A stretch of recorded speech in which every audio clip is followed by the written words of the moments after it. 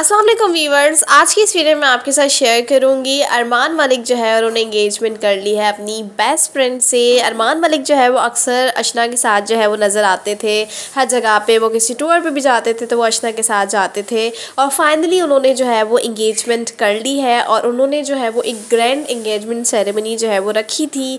और बहुत सारे सेलिब्रिटीज़ को उन्होंने इन्वाइट किया, जो उनके इंडस्ट्री में जो लोग उनके बेस्ट फ्रेंड्स हैं, उनको सबको इन्वाइट किया। और अरमान मलिक ने अपनी इंगेजमेंट में जो है आ, वो केक कटिंग की डांस किया अपने फ्यांसे के साथ और दोनों ने एक दूसरे को जो है वो प्रपोज़ भी किया और अरमान मलिक का कहना है कि वो दिसंबर में जो है वो शादी भी कर रहे हैं बहुत जल्द। उनका कहना है कि ये इनका जो है वो ये था कि डायरेक्टली शादी करेंगे लेकिन फिर इन्होंने एक ऐसी सेरेमनी रखी अनाउंसमेंट के लिए। सो आप देख सकते हैं कि अरमान मलिक जो है वो अपनी फ्रेंड्से के साथ मौजूद हैं और दोनों बहुत प्यारे लग रहे हैं। बहुत अच्छा और ग्रैंड किस्म का जो है वो इनका इवेंट हुआ है और अरमान मलिक जो है वो सबकी फेवरेट भी हैं। सो ये थी वीडियो आई होप कि आपको अच्छी लगी हो। चैनल को सब्सक्राइब कीजिएगा। अल्लाह हाफ़